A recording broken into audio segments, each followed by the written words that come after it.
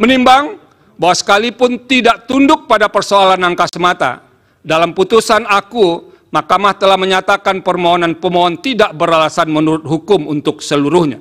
Terhadap pertimbangan hukum Mahkamah dalam menanggapi dalil-dalil pemohon, pada pokoknya saya memiliki posisi hukum serupa pada sebagian isu tersebut, terkecuali untuk beberapa persoalan yang menjadi tumpuan perhatian saya, termasuk sebagian argumentasi dalam permohonan. Ada dua hal yang membuat saya mengambil haluan untuk berbeda, berbeda pandangan dengan pendapat mayoritas majelis hakim, yaitu dalam satu, persoalan mengenai penyaluran dana bantuan sosial yang dianggap menjadi alat untuk memenangkan salah satu peserta pemilu presiden dan wakil presiden. Dua, perihal keterlibatan aparat negara, pejabat negara, atau penyelenggara di sejumlah daerah. Karena tidak mudah untuk membelahnya secara tegas, kedua masalah tersebut akan diuraikan secara berkelindan sebagai berikut. Bahwa pemohon mendalilkan persoalan di atas